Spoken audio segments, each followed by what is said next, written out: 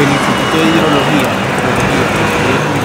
también conocido como IDEAM, ha declarado alerta roja en Barranca Bermeja por el enorme impacto que está causando el fenómeno del niño en el territorio. El subsecretario de Gestión de Riesgo y Desastres, Ricardo Herrera Jaramillo, comparte que los constantes monitoreos han dado muestra que las altas temperaturas han causado problemáticas graves en los cuerpos fluviales como el Magdalena. Nos encontramos en alerta roja por incendios forestales, estamos en constante monitoreo de los cuerpos hídricos y adicionalmente estamos generando controles adicionales a distintas zonas de la ciudad que tenemos identificadas como zonas en las cuales se disponen eh, residuos vegetales eh, provenientes de actividades de poda y tala, así como basuras en general que pueden ocasionar incendios en estas fechas teniendo en cuenta las consecuencias climáticas que tiene el fenómeno del niño que repercute en nuestro, nuestro territorio. Desde la Subsecretaría de Gestión del Riesgo para hoy 23 de enero del 2024 reportamos que nos encontramos en un nivel de río de 1.6 metros y un nivel de 4.8 metros a la altura de la Bocatoma para la Ciénega San Silvestre. Esto representa que para el río Magdalena hoy nos encontramos en una alerta por niveles bajos y que representa unas restricciones a la navegabilidad respecto al último boletín informado por el IDEAM. Nos encontramos en